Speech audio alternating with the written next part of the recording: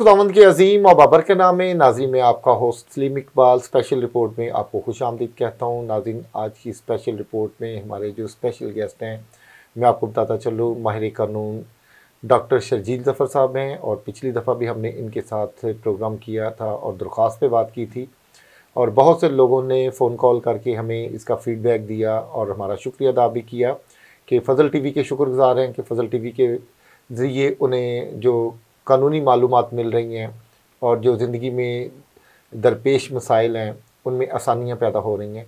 नाजिन फजल TV के ज़रिए ये प्रोग्राम करने का जो मकसद है मेरा, वो सिर्फ़ ये है कि वो हमारे नाजरन जो हमें देखते हैं, सुनते हैं और ज़िंदगी के वो मसाइल जिनका हमें रोज़ाना सामना करना पड़ता है उनके बारे में हमें मालूम जो है वो हासिल हो सकें। नाजिन आज के हमारे स्पेशल गेस्ट माहिर कानून डॉक्टर शर्जील जफ़र हमारे साथ मौजूद हैं। आज हम उनके साथ बात करेंगे एफ़ आई आर पे। क्योंकि एफ़ आई आर पे हम देखते हैं कि लोगों पर किसी पे अगर कोई एफ़ आई आर झूठी या सच्ची हो जाए तो बहुत ज़्यादा मुश्किल जो है, उनका सामना करना पड़ता है। तो हम अपने नाजिन को आज बताएँगे कि जो पर्चा दर्ज हो जाता है, जो एफ़ आई आर वो है क्या और इस, जो मसाइल इससे जो पैदा होते हैं, हम कैसे इनसे निकल सकते हैं। डॉक्टर साहब थैंक यू सो मच आज के प्रोग्राम में आपके आने का और लोगों को एफ़ आई आर के तलक से गाइड करने का। और लास्ट प्रोग्राम में भी आपने बड़े अच्छे तरीके से ब्रीफ किया था लोगों को दरख्वास्त के तलक से। तो आज हम एफ़ आई आर पे बात करेंगे। डॉक्टर साहब एफ़ आई आर है क्या? आ, जी सलीम साहब सबसे पहले आपका और फजल टीवी का शुक्रिया कि उन्होंने हमें ये मौका दिया कि हम अपने लोगों तक कुछ मालूम पहुँचा सकें। जी। जहाँ तक एफ़ आई आर का ताल्लुक है तो इसको जो इसका ये एब्रीविएशन है फ़र्स्ट इंफॉर्मेशन रिपोर्ट का। जी। आ, इसके ऊपर जो है सेक्शन 154 जो जबता फौजदारी का वो इसको डील करता है। जी जी। उसकी एक्सप्लेनेशन और उसकी इंटरप्रिटेशन तो बेशुमार उसके ऊपर तो बुक्स भी अवेलेबल हैं। जी। लेकिन मैं उसमें से सिर्फ़ दो ही अल्फाज आपके साथ शेयर करूँगा कि वो जो सेक्शन 154 है वो ये कहता है कि every information regarding any cognizable offence जी। तो हम सिर्फ़ इन्हीं दो लफ्ज़ों के ऊपर बात करेंगे। एवरी इंफॉर्मेशन कोई भी ऐसी मालूम जिससे और वो फैक्ट जिनसे कोई जुर्म साबित होता हो जी। या उससे वो जुर्म कॉन्स्टिट्यूट होता हो वो ऑफेंस तो वो जब उसको when it is reduce to writing जब उसको जब्त तहरीर में लाया जाएगा it will be F I R तो डॉक्टर साहब एफ़ आई आर लिखते वक्त हमें किस चीज़ का ख्याल रखने की ज़रूरत है? जी बिल्कुल मैं इससे पहले गुजारिश कर देता हूँ कि जब हम ये कहते हैं कि एवरी इंफॉर्मेशन तो इसमें एक चीज़ जो है वो बड़ी क्लियर है कि इस एवरी इंफॉर्मेशन में वो इंफॉर्मेशन शामिल है जो कि कंप्लेनेंट या साइल वो प्रोवाइड करता है टू द पुलिस स्टेशन जी। इसमें वो इंफॉर्मेशन शामिल नहीं है जो पुलिस अपने ज़राए से या इब्तदाई तफ्तीश में जो कि सरासर नाजायज़ है और गैर कानूनी है उसमें जो वो वेरीफाई करती है इसमें वो इन्फॉर्मेशन शामिल नहीं है। जी। ये वो इन्फॉर्मेशन है जो साइल मुकदमा ने और कंप्लेनेंट ने पुलिस ऑफिसर को दी है। जी। जहाँ तक आपका दूसरा सवाल है कि एफ़ आई आर लिखते हुए हमें किन चीज़ों का ख्याल रखना चाहिए? जी बिल्कुल। तो उसमें गुजारिश ये है कि उसमें हैं तो बेशुमार चीज़ें हैं लेकिन जो ज़्यादा इम्पोर्टेंट हैं और जो फौरी तौर पर जिनका हर शख्स को इल्म होना चाहिए वो ये हैं कि सबसे पहले तो कोई भी कहीं भी इंसिडेंट हो जाए तो उसकी एफआईआर करवाने में डिले नहीं आना चाहिए। जी बिल्कुल। ठीक है? इससे आपका जो है वो सारा इंसिडेंट जो है और वो जो आपका वकूआ है वो डाउटफुल हो जाएगा। जी। अगरचे उसमें भी रेमेडीज़ मौजूद हैं कि उसको हम लेटर स्टेज पे एक्सप्लेन कर सकते हैं लेकिन फर्स्टली जो है वो आपका डाउट में चला जाएगा। जी। जो आपका वकू है। जी। दूसरी इंपॉर्टेंट बात उसमें आपने ये तय करनी है कि आप नॉमिनेटेड एफआईआर करवाना चाह रहे हैं या अननोन पर्सन के खिलाफ करवाना चाह रहे हैं। जी। अगर नॉमिनेटेड हैं वो बंदे आपको नोन हैं जिन्होंने वो जुर्म किया है आपको जानते हैं आप उनको जानते हैं तो आप नॉमिनेटेड एफ़ आई आर करवाएँगे। In case of unknown person आप जो है नामालूम अफराद के खिलाफ एफ़ आई आर करवाएँगे। लेकिन वहाँ पे अगर मुमकिन हो तो उनका किसी हद तक हुलिया उनके फीचर्स वो ज़रूर एफ़ आई आर का हिस्सा बनाएँ। और उसमें साथ ये फैक्ट भी लिखें कि मैं उनको सामने आने पर पहचान पहचान ये दूसरी बात है। जी। तीसरी और इंपॉर्टेंट बात यह है कि आपने वकूए का जहाँ जब पर वो जुर्म वाक़ हुआ है उसका एग्जैक्ट टाइम उसकी डेट उसकी प्लेस बिल्कुल। वो बतानी है और जो मुलजमान का रोल है वो आपने वो भी बताना है। जी। मुलजमान का जो किरदार है उस वकूए में वो बताते वक्त आपने ये ख्याल रखना है कि it should be specific allegation and it should not be a general allegation general allegation का फ़ायदा हमेशा मुलजमान को होगा। जी। उसके बाद जो है आपने ये ख्याल रखना है कि आप क्या जुर्म जो है वो उनके ऊपर आयद करना चाह रहे हैं जी। मुलजमान के ऊपर। उस जुर्म के जो इंग्रेडिएंट्स हैं उनका जहाँ तक आप हो सके आप उसको ख्याल में रखें और उसके मुताबिक अपना जो है वो कंटेंट्स ऑफ़ द एफआईआर होनी चाहिए। ऑब्वियसली ये ज़रा टेक्निकल मामला है इसमें अगर आपको कोई लॉयर अवेलेबल हों तो आप उनकी हेल्प लें ताकि वो आ, उन इंग्रेडिएंट्स के मुताबिक जिसमें उसके ऑफेंस के इंग्रेडिएंट्स पूरे होते हैं और मुलजमान जो है वो उसकी शिकंजे से निकल ना सकें। जी।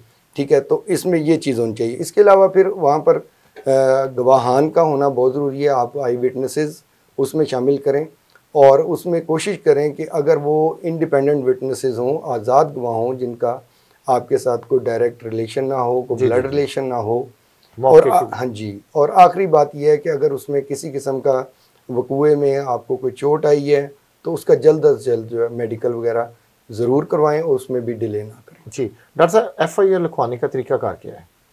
बहुत सारे हमारे जो सादा लोग हैं उनको पता नहीं होता कि एफ़ आई आर लिखवानी कैसे जी ज़ाहिर है हम सोसाइटी में सिर्फ़ दो तरह के लोग हैं जो। एजुकेटेड हैं कुछ एजुकेटेड नहीं है। जी। जो तो एजुकेटेड हैं वो तो अपनी एप्लीकेशन खुद लिख सकते हैं। जी जी। और वो लिखेंगे अपनी एप्लीकेशन कंप्लेंट जो है अपनी वो लिखेंगे और साइन करके और थंब इम्प्रेशन भी उसके ऊपर लगा के वो फ्रंट डेस्क पे दे देंगे। जी। जो पढ़े लिखे नहीं हैं उनके लिए ये तरीकाकार है कि वो पुलिस ऑफिसर के सामने पेश होंगे और जो उनके साथ भी ज़्यादती जुल्म हुआ है जो वकूआ हुआ है वो उनको बयान करेंगे और वो police officer he shall reduce it into writing ठीक है उसको जब्त तहरीर में लाएगा और इसके साथ ही यह है कि वो उसको पढ़कर सुनाने का भी पाबंद है जी। और उसके बाद वो उसको साइन और थम इम्प्रेशन करके तो वो आपकी दरख्वास्त हो जाएगी। जी।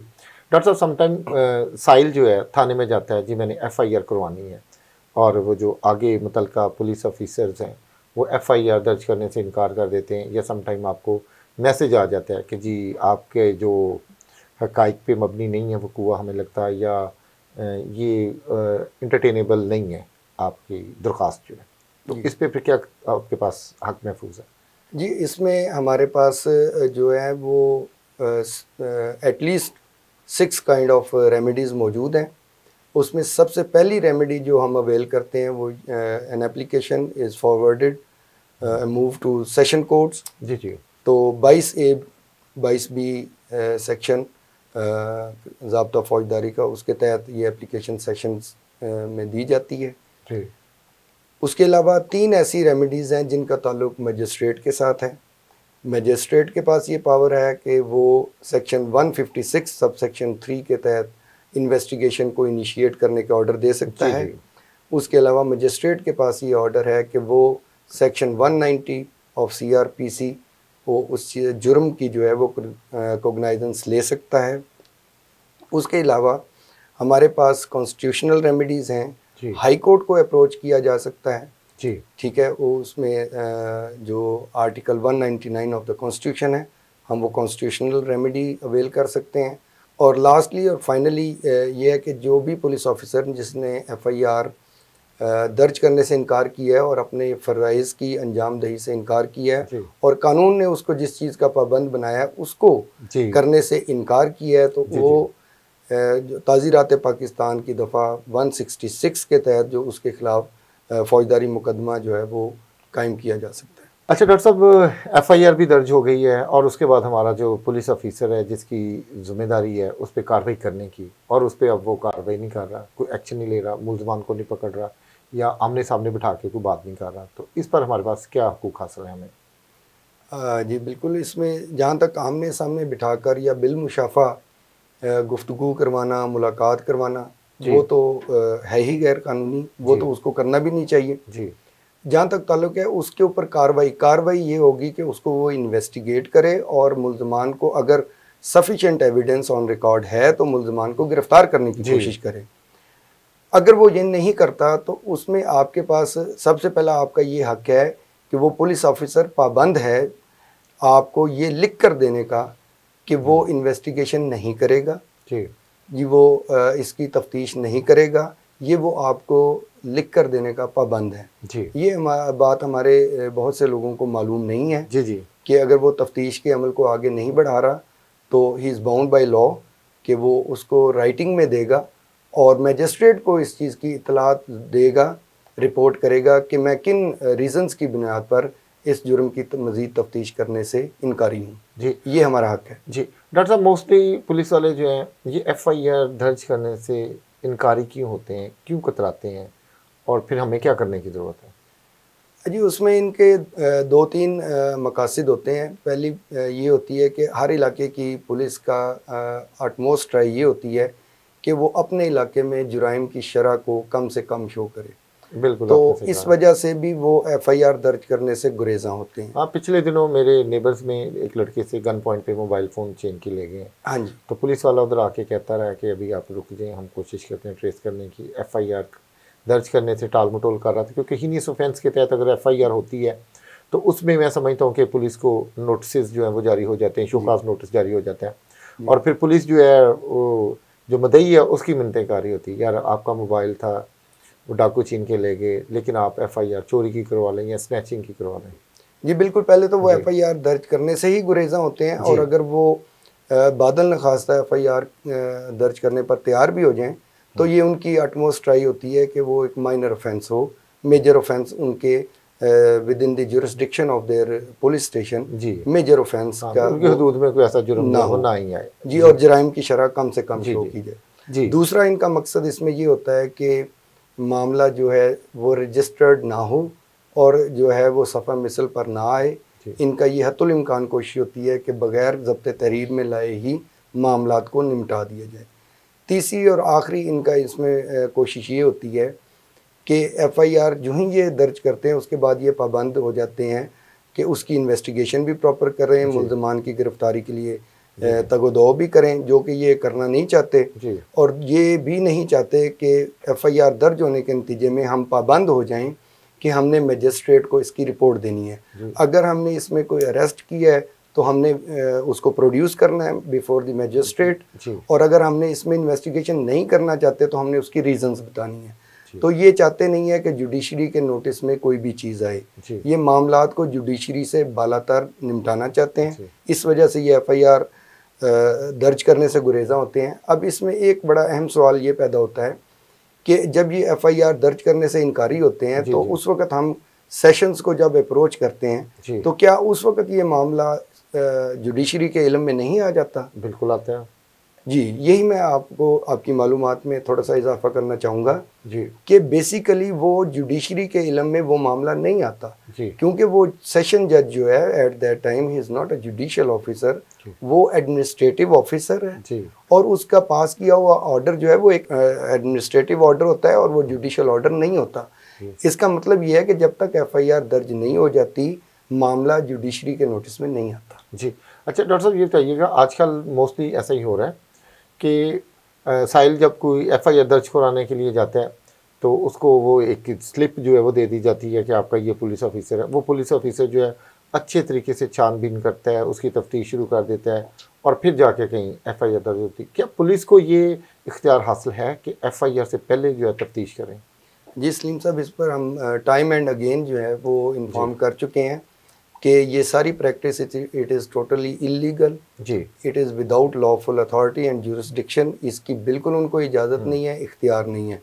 पुलिस जो है before the registration of F I R किसी मामले को इन्वेस्टिगेट नहीं कर सकती। जी।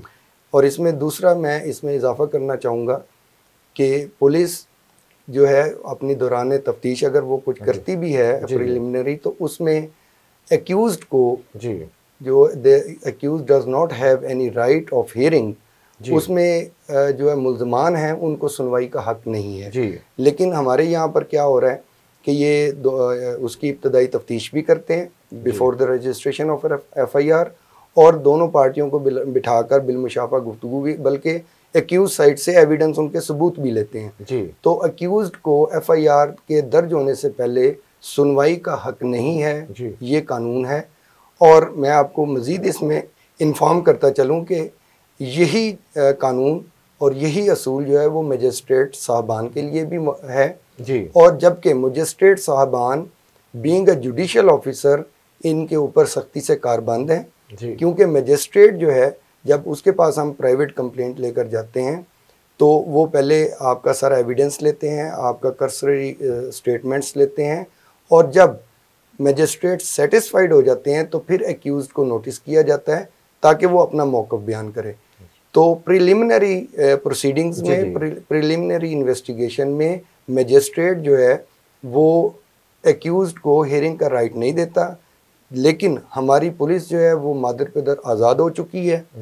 ठीक है? इसलिए जो मजिस्ट्रेट भी जिन असूलों पर कार कारबंद हैं पुलिस उन पर भी अमल करने से इनकारी। जी। डॉक्टर साहब अगर आपको ये लगता है कि पुलिस की जो तफ्तीश है माला फाइडी पर डिपेंड कर रही है बदयांती हो रही है तो उसके पास साइल के पास क्या ऐसी चारा जो है? वो क्या करे कि वो बता सके कि पुलिस ने तफ्तीश में जो है बदयांती का मुजाहरा किया? जी इसमें हमारे पास दो रेमेडीज़ मौजूद हैं। एक रेमेडी तो within the police department है कि हम सुपीरियर अथॉरिटीज़ को ऑफ़ द पुलिस डिपार्टमेंट एक एप्लीकेशन दे सकते हैं for the change of investigation ji. Transfer दूसरा ये है कि हम प्राइवेट कंप्लेंट जो है वो फ़ाइल कर सकते हैं बिफोर द मैजिस्ट्रेट जी। और उसमें हमें ये फ़ायदा भी हो जाता है कि जो ही हम प्राइवेट कंप्लेंट जो है वो फ़ाइल कर देते हैं और हमारी प्राइवेट कंप्लेंट जो है वो एडमिट हो जाती है फॉर द हियरिंग तो उसके बाद जो है वो जो स्टेट uh, केस है उसमें जितनी भी इन्वेस्टिगेशन है वो it it will be held in abeyance और उसको वहाँ पर वो साकित हो जाएगी उससे आगे वो इन्वेस्टिगेट नहीं कर सकेगा और जो मामला है वो पूरी तरह से वो जुडिशरी में और कोर्ट में आ जाएगा। जी। डॉक्टर साहब मोस्टली ऐसा होता है कि पुलिस जो है एफआईआर जो आपका टारगेट या फोकस होता है जो आपने एप्लीकेशन दी होती है उसके मुताबिक होती नहीं है। पिछले दिनों गोजरा में एक वाक़ पेश आया वो इल्ज़ाम लगा रहे थे कि पुलिस टॉर्चर से उनके वालद की जो है हलाकत हुई है। लेकिन पुलिस ने जो एफ़ आई आर है, बजाय इसके ज़ेर दफ़ा तीन सौ दो एफ़ आई आर काट दी, पुलिस ने तीन सौ बाईस के तहत एफ़ आई आर जो दर्ज कर दी। तीन सौ बाईस का मतलब कि हादसाती मौत। तो अगर कोई ऐसी एफ़ आई आर गलत काटी जाती है तो उसके पास फिर हम उसके बाद हमें क्या करने की ज़रूरत है? एफ़ आई आर को ठीक करवाने के लिए। जी सलीम साहब मैं आपका बहुत ही शुक्रगुजार हूँ कि आपने मुझसे ये सवाल किया है। जी। ये आज की नशिस्त का सबसे अहम सवाल है। जी। इसमें यह है कि हमारे यहाँ जनरल कंसेप्शन ये है कि प्राइवेट कंप्लेंट या इस्तगासा जो है वो उस वक्त फ़ाइल किया जाता है जबकि आप पुलिस की तफ्तीश से मुतफिक नहीं हैं जी। और मुतमिन नहीं हैं। जी। Investigation is based upon mala fide. जी। तो आप जो है वो प्राइवेट कंप्लेंट में चले जाते हैं। मैं इसमें आज ये इजाफा कर देता हूँ ताकि लोगों के ये काम आ सके कि ये महज इन्वेस्टिगेशन तक महदूद नहीं है। अगर आप एफ़ आई आर के मंदरजात से मुतफिक नहीं हैं if you are not satisfied and agreed with the contents of the FIR, even then you can go for the private complaint और आप उसमें एक डिफरेंट वर्जन जो है वो आप रिकॉर्ड करवा सकते हैं। क्योंकि मोस्टली ऐसा होता है पुलिस किसी को अगर फेवर देना चाहती है तो एक आध जुमला जो है वो सत्यानाश कर देते हैं एफ़ आई आर जी बिल्कुल बिल्कुल। तो डॉक्टर साहब मेरा अगला क्वेश्चन आपसे ये है कि सिविल मुकदमे के साथ एफ़ आई आर जो है वो दर्ज हो सकती है? एफ़ आई आर दर्ज करवाई जा सकती है? जी बिल्कुल ये सेटल्ड लॉ यही है कि civil and criminal proceedings can coexist लेकिन इसमें बस इतना ही ख्याल रखना चाहिए कि ज़्यादातर मुकदमा ख़राब इसलिए होते हैं जब हम सिविल मैटर्स को क्रिमिनल में चेंज करने की कोशिश करते हैं। जैसे कि मिसाल के तौर पर हम बिज़नेस ट्रांजेक्शन्स को जो। है वो 406 यानी कि क्रिमिनल ब्रीच ऑफ़ ट्रस्ट के मुकदमात बनाने की कोशिश करते हैं। ये नहीं करनी चाहिए। क्रिमिनल प्रोसीडिंग और सिविल प्रोसीडिंग जो हैं दीज कैन को एग्जिस्ट जी। डॉक्टर साहब मोस्टली जब किसी पे एफ़ आई आर काट दी जाती है और लोग जो है उसको बड़ी नफरत की नज़र से देखना शुरू हो जाते हैं कि ये शायद अब मुजरम बन गया या मुजरम है।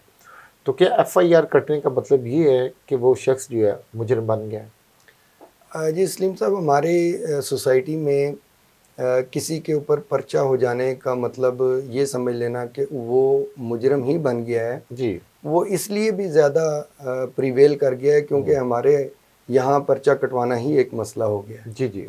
तो पर्चा जब किसी के ऊपर कट जाता है तो वो जिस जिन्होंने पर्चा कटवाया होता है वो उनकी बहुत बड़ी कामयाबी तस्वर होती है। बिल्कुल मैं और जिसके ऊपर पर्चा हो जाता है उसके लिए बड़ी बदनामी और नाकामी का सबब वो बन जाता है। लेकिन as per law F I are होने से कोई मुजरिम नहीं बन जाता। He is just an accused person वो इल्ज़ाम अलह है।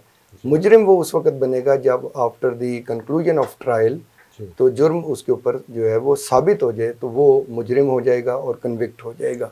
जी। और इसके साथ ही मैं आपको ये भी इजाफा कर दूँ कि एफआईआर होने का ये भी मतलब नहीं है कि पुलिस उसको गिरफ़्तार करने की पाबंद है जी। या पुलिस इवन उस मामले को इन्वेस्टिगेट करने की पाबंद है। जी। पुलिस के पास ये सारी अथॉरिटीज़ मौजूद हैं कि even after the registration of FIR police इनकार कर सकती है तफ्तीश करने से और पुलिस अग, अगर सफिशेंट एविडेंस नहीं है तो वो मुलम को गिरफ़्तार करने से भी इनकार कर सकती है। जी। डॉक्टर साहब एफ़ आई आर सबूत का दर्जा रखती है? जी बिल्कुल एफ़ आई आर सबूत का दर्जा नहीं रखती बल्कि it's not a substantive evidence actually ये एफ़ आई आर आपने देखा होगा मोस्टली जब कभी कोई इलेक्शन कंपेन या कोई जॉब्स का प्रॉब्लम आता है किसी का या किसी को पता चल जाए कि इसके खिलाफ तो फलां सन में एफ़ आई आर हुई थी तो उसकी एफ़ आई आर निकाल के दे देते हैं जी ये इसके खिलाफ एफ़ आई आर हुई थी। जी बिल्कुल ऐसे ही है वो ज़रूर कॉपी उसकी देते होंगे लेकिन उसके साथ जो है वो ये बात भी इतनी ही दुरुस्त है कि एफ़ आई आर हो जाना किसी पर भी ये उसका कोई जुर्म नहीं है। जब तक वो साबित ना हो तो उसको कोर्ट में जो है, है या मुजरम जी बिल्कुल। अगर जुर्म साबित नहीं होता जी अगर जुर्म साबित नहीं हुआ और वो कन्विक्ट नहीं हुआ तो एफआईआर से उसकी ज़ात के ऊपर कोई फ़र्क नहीं पड़ता क्योंकि एफआईआर लोग एक दूसरे पर ड्यूटी भी करवा सकते हैं। डॉक्टर साहब क्वेश्चन एक ये भी है कि जब एफआईआर दर्ज हो जाती है क्या उसके फ़ौर बाद पुलिस जो है समटाइम कहती है कि आपको ज़मानत करवाने की ज़रूरत नहीं है? लेकिन वकला हजरात के पास चले वगैरह फ़ौर से ज़मानत करवाएँ अदरवाइज़ पुलिस आपको गिरफ़्तार कर लेगी आपका रिमांड ले लेगी ये हो जाएगा वो हो जाएगा। तो क्या आप क्या समझते हैं? पुलिस की बात माननी चाहिए या वकीलों की? आ, ये पुलिस तो आपको ये फैसिलिटेट तभी करेगी जब आप उनको कुछ ना कुछ रकम अदा करेंगे। जी। तो तभी वो आपको ये ज़मानत देंगे जी। कि आपको कोई नहीं पकड़ेगा। तो इसका लाजमी मतलब ये है कि आपने भी उनको फैसिलिटेट कर दिया है। जी।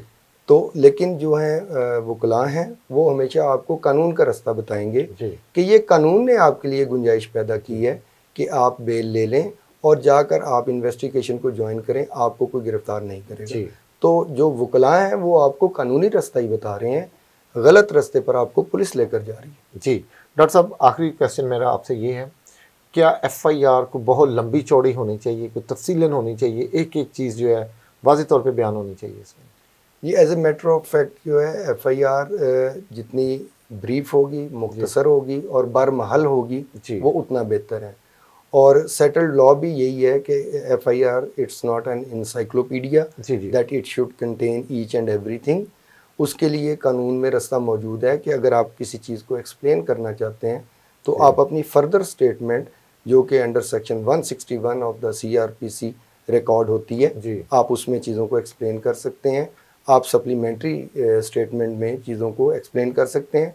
यहाँ ये थोड़ा सा अर्ज़ करना ज़रूरी है कि जो स्टेटमेंट अंडर सेक्शन 161 है और जो सप्लीमेंट्री स्टेटमेंट है ये बेसिकली एक ही चीज़ है। जी। हर वो स्टेटमेंट जो एफआईआर के बाद रिकॉर्ड होगी और वो फर्दर स्टेटमेंट होगी वो अंडर सेक्शन 161 ही होगी।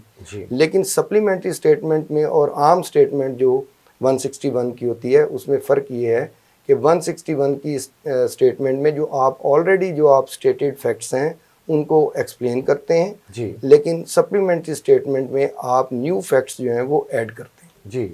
बयान तरमीमा भी तमीमा बयान भी कहते हैं उसमें आप न्यू फैक्ट्स को ऐड करते हैं। जी। थैंक यू सो मच बड़े अच्छे तरीके से डॉक्टर साहब आपने नाजिन को ब्रीफ किया और मैं समझता हूँ कि जिस तरीके से आपने ब्रीफ किया लोगों को अगर कभी एफआईआर का सामना करना पड़ जाता है तो उनको बहुत ज़्यादा आसानी होगी उनकी ज़िंदगी में। नाजीन मैं आपका host Salim Iqbal special report में आज का जो हमारा टॉपिक था एफआईआर का कभी हमें सामना करना पड़ जाता है अगर हमें किसी पे करवानी पड़ जाती है या हम हमारे ऊपर कोई एफआईआर हो जाती है तो हम किस तरीके से इस सारे मामले को जो है वो टैकल कर सकते हैं। तो मैं आपको ये कहना चाहूँगा कि खुदा ना करे खुदा ना करे कि कभी आप किसी पे एफ़ आई आर करवाएँ या आप पे हो ये आपका कानूनी हक है। लेकिन कोशिश करें कि जो मामला आते हैं वो आपस में बैठ कर जो है वो हल कर लिए जाएँ। अगर नहीं हल होते तो फिर आपके पास कानूनी रास्ता मौजूद है कि आप एफ़ आई आर दर्ज करवाएँ या जो मुखालफिन हैं, वो आप पर एफ़ आई दर्ज करवाएँ। मैं आपका हौसलीम इकबाल, अगले प्रोग्राम तक के लिए स्पेशल रिपोर्ट में आपसे इजाज़त चाहूँगा। अगले प्रोग्राम में फिर नए गेस्ट के साथ मिलेंगे। खुदा हाफिज़।